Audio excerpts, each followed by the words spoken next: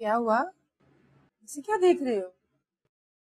वो अ, अम्मी ने सेवियाँ भेजी हैं। आज ईद का दिन है ना तो उन्होंने बना के भेजी हैं। अच्छा। आज ईद है। अंदर आने का नहीं कहेंगे? अरे तुम्हें इजाज़त की क्या ज़रूरत? आओ। तुम बैठो मैं आती हूँ।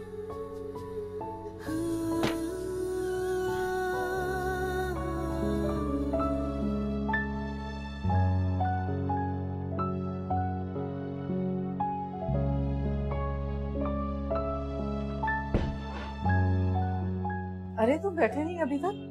नहीं आप ईद के दिन तैयारी नहीं होती? क्यों? इसलिए कि मैं बाकी के सब दिन तैयार होती हूँ तो ईद के दिन छुट्टी कर लेती हूँ। जैसे तो ईद के दिन सब बच्चे से तैयार होते हैं।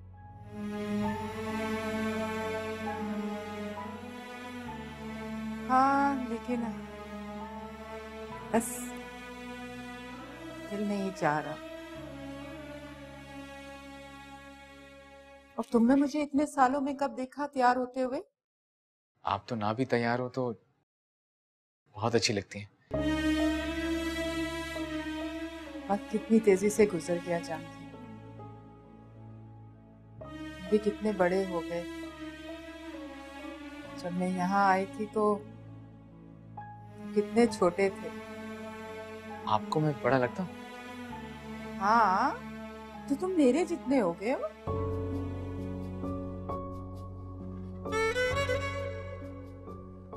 क्या देख रहे हो? आ- आप भी मुड़िए मुड़िए हाँ देखो। मुझसे भी लंबे लग रहे हो।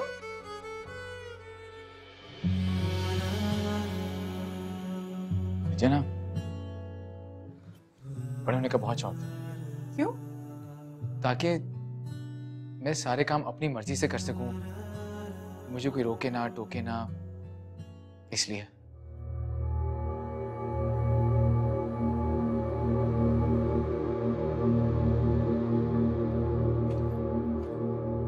जहांगीर। कहा दफ़ा हो गया? जहांगीर। तुम्हारी पुप्पो आवाज़ें दे रही है? जाओ ऊपर। वो तो आवाज़ें देती रहती हैं। आप बात करें ना। मैं क्या बात करूँ? बस यही कि तुम बड़े हो गए हो और अपनी तालीम की तरफ़ तवज्जो दो। नीचे जाकर जम गया क्या? जहांगीर। तेरी इतनी हिम्मत?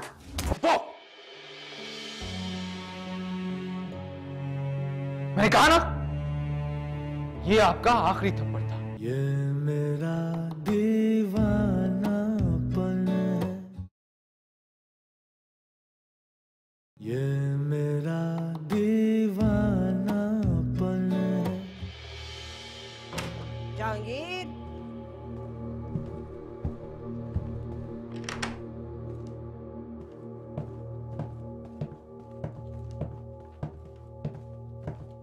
कहाँ दफ़ा हो गया?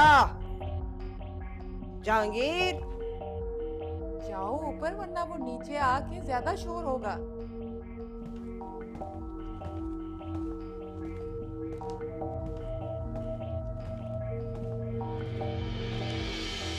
अस्सलाम वालेकुम पप्पू। ईद मुबारक। तुम्हें तुम्हारी पुप्पो की आवाज़ नहीं आ रही है? मैं जा ही रहा था पप्पू। जा रहे होते तो दो तीन आवाज़ें ना आ चुकी होती उनकी। और बीबी तुम।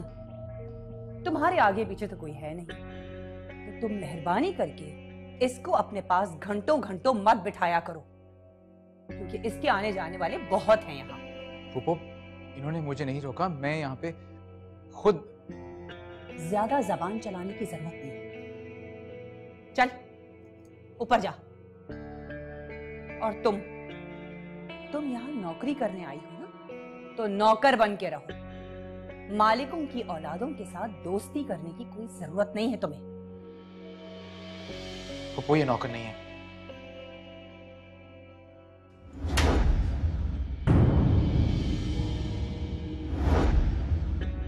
मेरी बात काटने की ज़रूरत मेरे शोहर में भी नहीं है। तू इतना दिलेर कब से हो गया? चुप करके यहाँ से चला जा। अगर आपा जान की एक और आवाज़ भी आई ना तो मैं तेरी जान निकाल दूँगी। पप्पू ये आपका आखिरी थप्पड़ था। इसके बाद ऐसा मत कीजिए।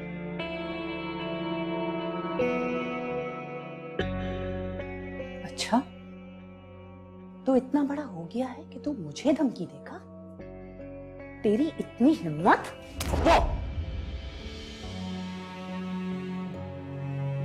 मैंने कहा ना, ये आपका आखिरी थप्पड़ था।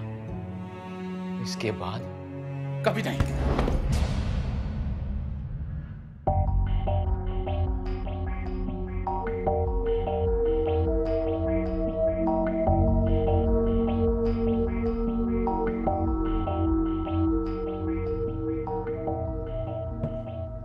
भाई को अम्मी ने मारा, पर आज उन्होंने अम्मी का हाथ पकड़ लिया।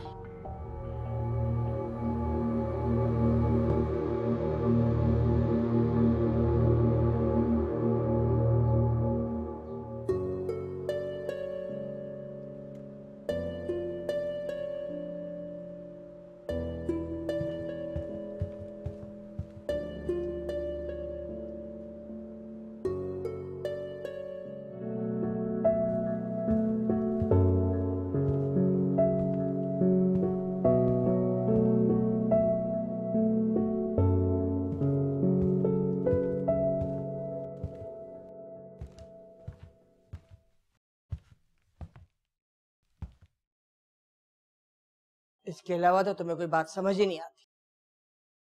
मेरी आवाजों का तो कोई असर नहीं होता तुम ने थप्पड़ मारा तो फ़ौरन ऊपर आ गया। सही करती है ना। अब से मैं भी इसी जबान में बात करूँ। अरे तेरे तो आँखों की शर्म हया ही खत्म हो गई? इतनी मार खाने के बाद भी आवारा का आवारा ही रहा।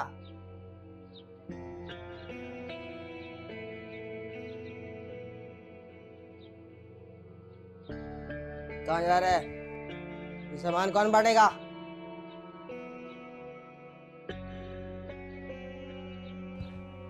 रोक, होश में है तू? ठीक अभी मैं तेरे होश ठिकाने लगवाती हूँ। सारा काम धरा का धरा पड़ा है क्या? हज़ार दफ़ा कहा कि ये फजूल के चोचले मत किया करो। और आइंदा ये बेकार के सवाल मुझे मत करना। मैं तो सिर्फ़ पूछ रही थी कि तुम जो कह रही थी उसका जवाब यही है कि तुम कुछ भी कर लो कुछ भी पहन लो लेकिन मेरे दिल में जगह नहीं बना सकती। तुम जैसी औरत के साथ जिस तरह मैं ज़िंदगी गुजारू ये मैं ही जानता हूँ।